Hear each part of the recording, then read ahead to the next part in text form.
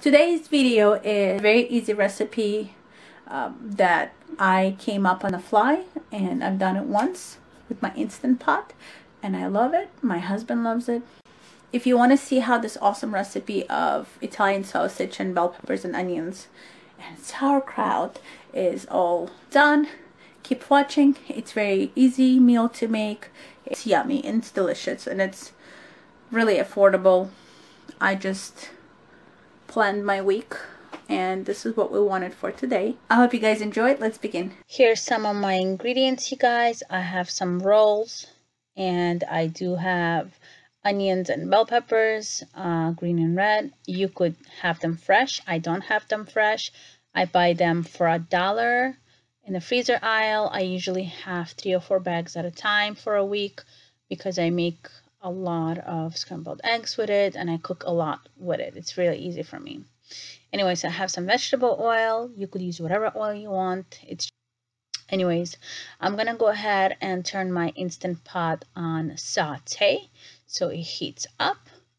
Add a little bit of oil in there, just enough to coat the bottom of the pot. And then I'm to just brown both sides of the sausage um, I have six pieces. That's more than enough for me. You can guys do more than that. It's just me and my husband and my baby. And I am currently expecting baby number two. So I eat for two.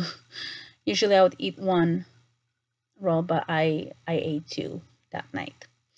Anyways, so I'm just going to brown them up like that. It's sizzling. It's lovely. I love my Instant Pot. It's my savior. I use it at least six times a week. Alrighty, so I'm gonna go ahead and chop up uh, my onions and bell peppers. You don't need to do that. You could skip this whole thing and just brown your sausage from both sides and then take it out and then just saute that with sauerkraut.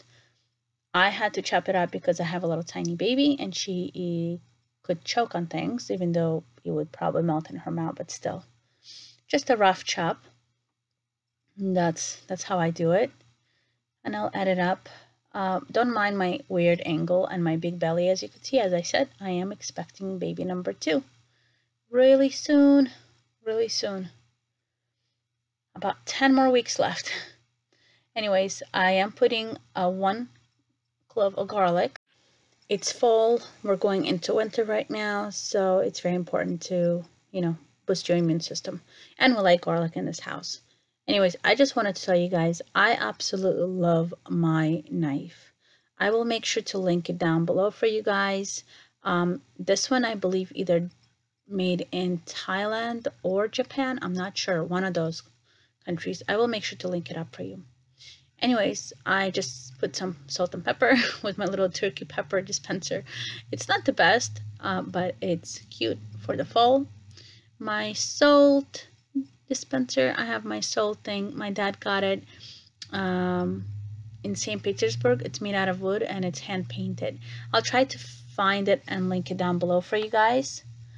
Um, I already added a sauerkraut in there and some ketchup as you saw. Just a little bit. It gives that sweetness. I don't know how to say it. It's really good. If you don't like ketchup, you don't have to put it in, but it does make a difference. As you could see, I put all the sausage in and then I'm gonna go ahead and turn it off of the saute.